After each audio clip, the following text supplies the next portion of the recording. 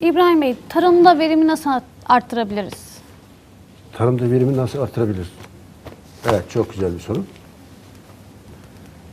Tarımda çok güzel çalışmalar var. Hidrojel üretiyor birçok ülke.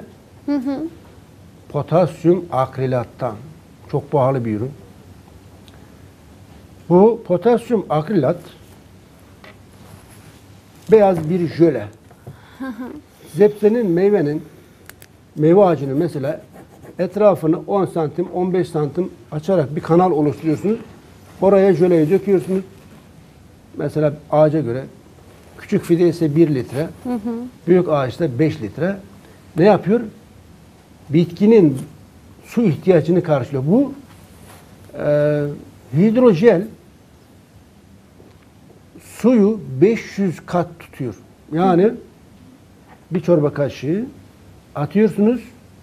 500 çorba kaşığı kadar su yani 5 litre su kadar suyu tutuyor. Jöle haline geliyor. Ee, bu nedenle kurak olan bölgelerde kullanılabilir. Artı serada mesela domates, biber, patlıcan ekti vatandaş. Yazın sıcak aylarda ne kadar sulaması lazım? Haftada bazen 3 defa sulaması gerekir. Hidrojel olduğu zaman ne olur?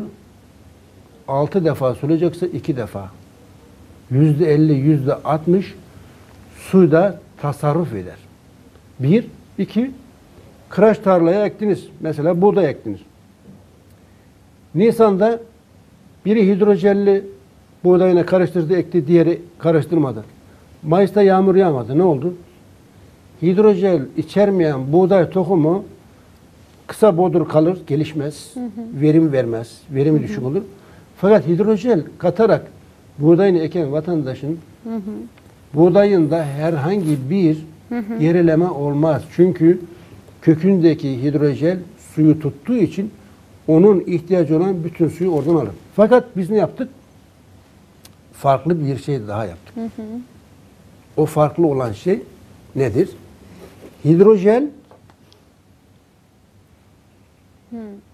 fulvik asit, humik asit ve 85 mineralden oluşan yeni bir formül geliştirdik, ekledik, karıştırdık.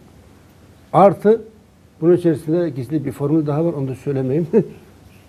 Şimdi şöyle bir çorba kaşığı, biraz çok oldu, yarısı yeter, burası 2 litre kadar. Kattığımızda borcumun içerisine şöyle bir karıştırıyoruz. Bu hemen jöle şeklini alır. Jöle gibi olur. Evet. Şimdi mesela seradaki vatandaş serası var. Domates, biber, patlıcan, lahana vesaire yetiştiriyor. Ee, kargo ile oraya buraya şuraya gönderiyor veyahut da gelenler alıyor. E gönderdi diyelim. Eğer kök kökü gönderdiği fidenin bu kök kuruduğu zaman ne oldu? Öldü. Ben Mersin'den moringa siparişi verdim. Moringa geldi. Toprağa saksı ektim kurudu. Neden? Kökünün filizleri kurumuş, bitki de kurudu. Fakat seracı özellikle diyelim ki marul veya başka herhangi bir sebze meyve gönderecek herhangi bir yere internetten sipariş yapıyor. Veya da dışarı çıkardı. Her neyse. Bunu batırdığı zaman kökü şöyle, bu jöle şöyle olmadı. iki dakika zaman alması lazım. Bunu batırıp çıkarıyor. Toprağa böyle koyduğunda bu hem jöle içerir, hidrojel hem de bunu besleyen humik asit, fulvik asit ve minerallerden boryum, bor, çinko, demir, mangan, molibden yani 81 element ve iz element. Bitkinin ihtiyacı olan her şey var. Zaten humik ve fulvik asit de ne yapıyor? Bitkinin karbon ihtiyacını karşılıyor. Bitkinin en çok ihtiyacı olan nedir? Sudan sonra karbondur.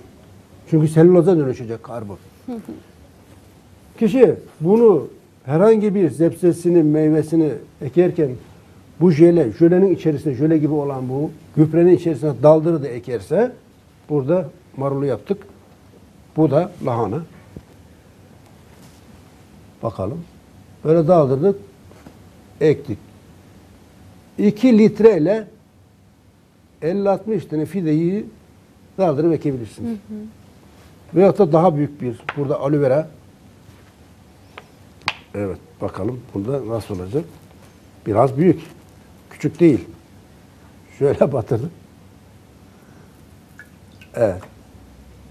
Şimdi bunu çıkarmayalım. Burada dursun. Şimdi buraya koyarsak altı delik olduğu için akar.